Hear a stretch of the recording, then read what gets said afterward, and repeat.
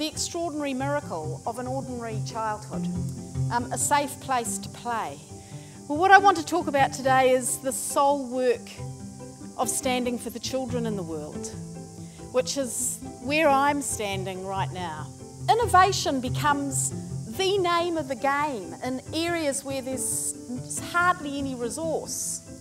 So, LASA 2 is an innovation of a different kind. It's the innovation of giving um, cameras to children who are living in camps and letting them tell their own story.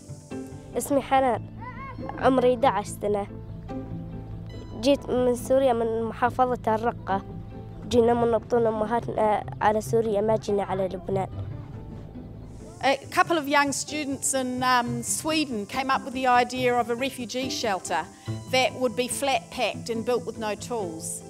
They are um, solar powered, they purify water, they sleep five people, they are put up in four hours with no tools, they'll last three years, and they cost a thousand bucks.